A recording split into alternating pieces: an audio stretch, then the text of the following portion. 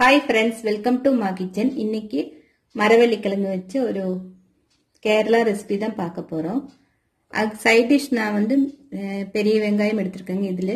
கொஞ்சம் கருவேப்பந்தலை ஒரு டீஸ்பூன் மிளகாத்தூள் கொஞ்சம் உப்பு போட்டு தே அரைச்சிட்டு தேங்காய் எண்ணெய் ஊற்றி சைட் டிஷ் பண்ண போகிறேன் இது ட்ரெடிஷ்னலாக பண்ணுறது தான் இது தொட்டு சாப்பிட்றதுக்காக. இது எப்படி பண்ணுறதுன்னு பார்க்கலாம். ஃபஸ்ட்டு இந்த மரவள்ளி கிழங்கு தோலெல்லாம் எடுத்து நல்லா சின்ன கியூப்ஸை கட் பண்ணி வாஷ் பண்ணி ஒரு அஞ்சாறு விசில் மஞ்சள் தூள் உப்பு போட்டு வேக வச்சிடலாம். ஃபஸ்ட்டு இலையை வாட்டி எடுத்துடலாம்.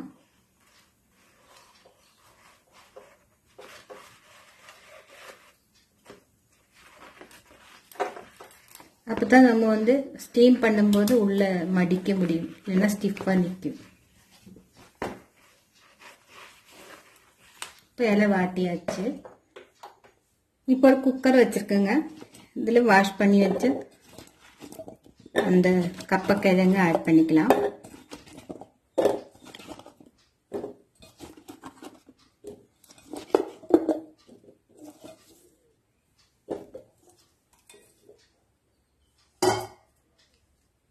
இதில் கால் டீஸ்பூன் மஞ்சத்தூள் ஆட் பண்ணிக்கலாம்.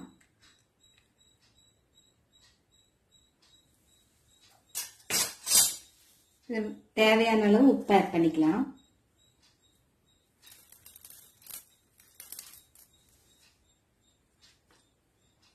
இப்போ முழுகிற அளவுக்கு தண்ணி ஊற்றி ஒரு நாலஞ்சு விசில் விட்டுடலாம் கிழங்கு வேகிறது பொறுத்துங்க. இது கொஞ்சம் ஒரு நாலு விசில் விட்டால் தான் அது வேகுது. அதனால் இப்போ நான் ஒரு நாலு விசில் விட போகிறேன்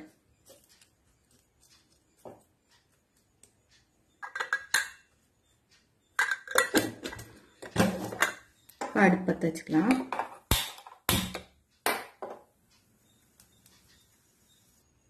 இப்போ நாலு விசில் விட்டுருச்சுங்க நல்லா வெந்திருக்கு. பாருங்க மாவு மாதிரி நல்லா வெந்திருக்கு. இப்போ இதை நம்ம தாளிச்சிடலாம்.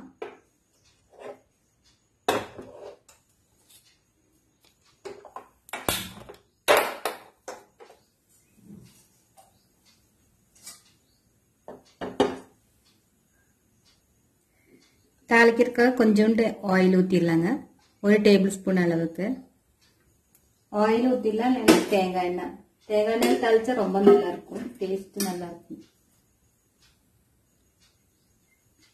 எண்ணெய் காயட்டும் இப்போ எண்ணெய் காஞ்சிச்சுங்க அரை டீஸ்பூன் கடுகு ஆட் பண்ணிக்கலாம்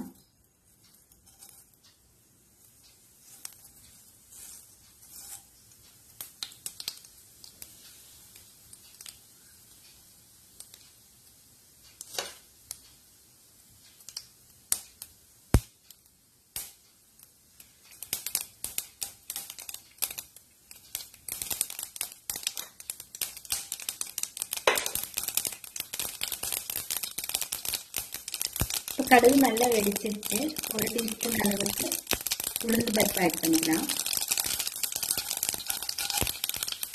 அது கொஞ்சம் செவந்து வரட்டுங்க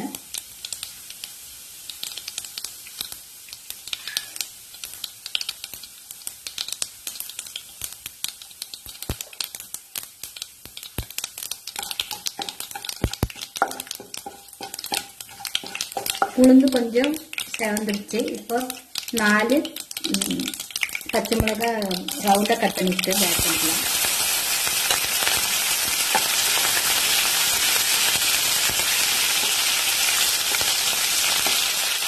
ஒரு கருவேப்பிலை ஆட் பண்ணிக்கலாம். நல்ல மனமாக இருக்கும்.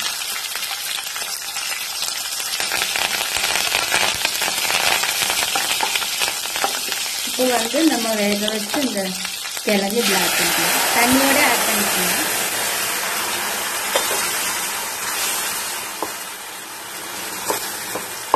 இது வேகும்போது நல்லா உடையுங்க இந்த தண்ணியெல்லாம் சுண்டட்டும் அப்போ அந்த காரமெல்லாம் அதில் இறங்கிடும் அதுக்காக தான் நம்ம தண்ணியோட ஆட் பண்ணுறோம்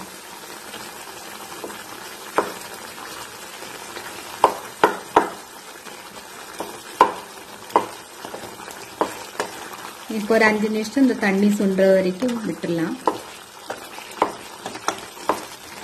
கொஞ்சமாக தண்ணி இருக்கும்போது துருவி வச்சு தேங்காய் ஆட் பண்ணிக்கலாம்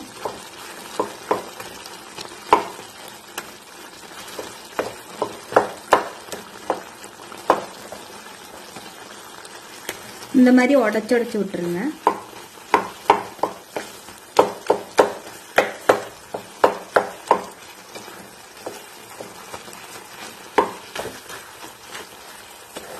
உங்களுக்கு இந்த மாதிரி உடையிற மாதிரி வேண்டாம்னா இந்த மாதிரி க்யூப்ஸாகவும் வச்சு அப்படியே சாப்பிட்றலாம் நல்லா இருக்கும் அது.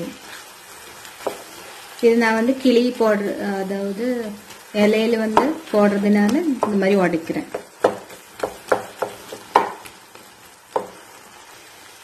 தண்ணியெல்லாம் ஓரளவுக்கு சுண்டிச்சுங்க இப்போ அரை மூடி தேங்காய் துருவனதை ஆட் பண்ணிக்கலாம்.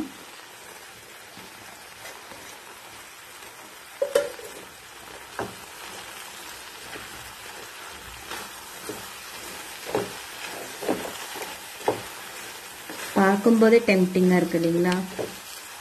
நல்லா இருக்கு. நல்லா அரோமா ரொம்ப டேஸ்டாக இருக்கும். எல்லாரும் செஞ்சு பாருங்க.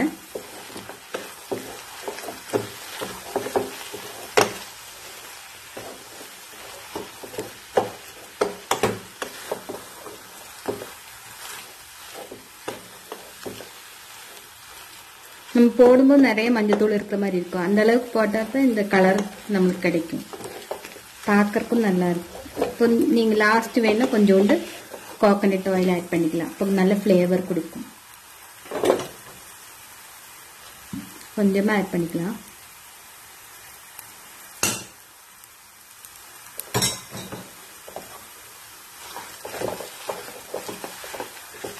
இப்போ இது ரெடி ஆயிடுச்சு. ஸ்டீமரில் தண்ணி வச்சுட்டு ஸ்டீம் பண்ணிடலாம். இந்த அடுப்பு ஆஃப் பண்ணிடுங்க. இப்போ ஸ்டீமரில் தண்ணி வச்சு ஆன் பண்ணிட்டேங்க. இதில் வந்து ஒரு பாத்திரத்தை வச்சிடலாம். இந்த இலையை வச்சு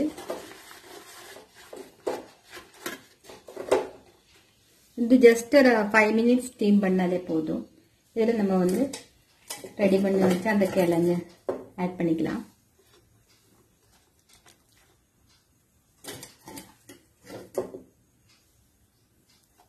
அந்த இலையோட ஃப்ளேவர் அதில் இறங்கி ரொம்ப சூப்பராக இருக்கு. அதுக்காக தான் இப்படி பண்ணுறது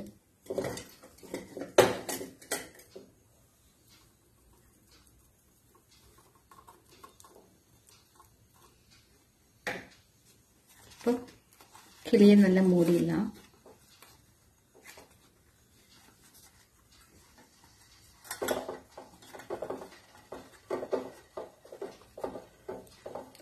நீங்க இப்படி வச்சு கட்டுறதா இருந்தாலும் கட்டிக்கலாம். இல்லைன்னா ஒரு மூடி போட்டு மூடி வச்சிருங்க.